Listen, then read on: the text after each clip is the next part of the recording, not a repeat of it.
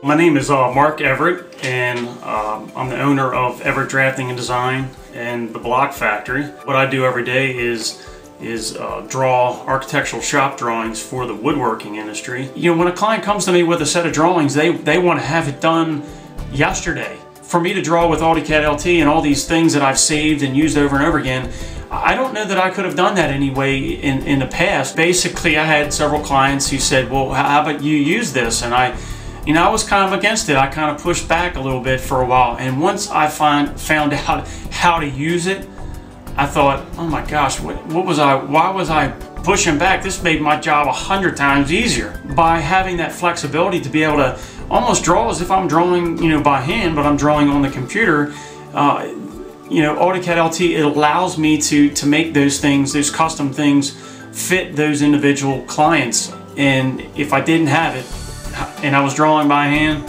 I wouldn't have the jobs. I wouldn't have the clients that I have. It's probably one of the most powerful software packages out there for the money that uh, will allow you to get your jobs done quicker. It's fast, it's efficient. I just don't know what I would do if I had to do this job without it.